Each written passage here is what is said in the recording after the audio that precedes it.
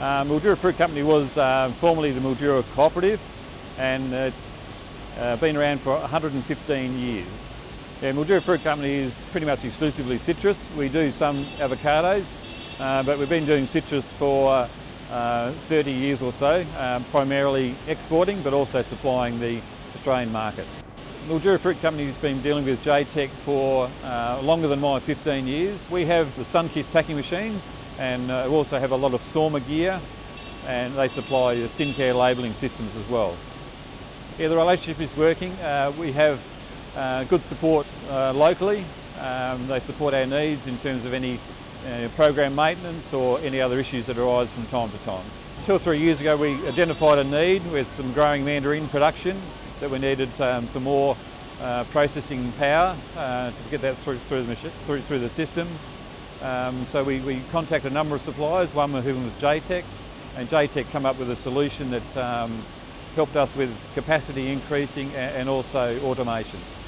Um, we had good support from uh, J-Tech and Sorma to help us get where we needed to get to um, with uh, technical advice and, and, training and the like. So I think it's been a happy marriage so far.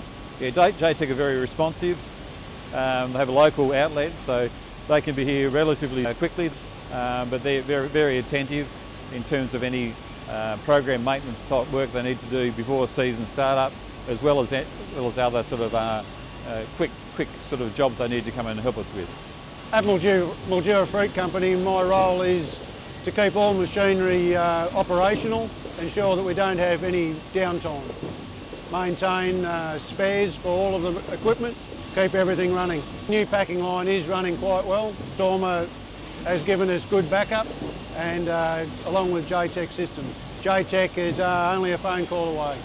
We're using the Sunkist uh, packing machines and have done for, for decades and they're still a good reliable uh, piece of equipment.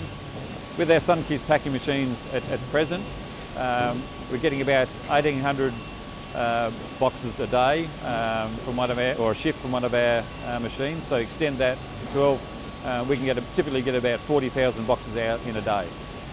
So for each of our packing lines on our Mandarin line, uh, they consist of bin tippers, that feeds across into our sort table and then from there through our Sinclair labelling system and from there into our Sorma weigher and from there lowered into a, into a, a box and the, the, completed box is then fed through into our palletiser.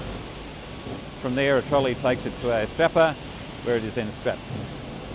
So since the installation uh, it went down the automation path. Uh, once we got the sort of the bugs sorted out, particularly pleased with the the weighing and filling side of things. So uh, uh, that, that's something a little bit new to the industry. It hadn't been uh, installed in Australia before. So uh, we're happy, very, very happy that the way it's turned out.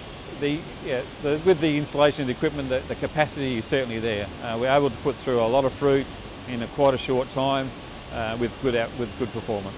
With, with companies like you know, J-Tech System, uh, Mildura Fruit Company's had a very good relationship for quite a long time and if they have the, the equipment available and they provide the service, uh, we'll continue to, to work closely with them.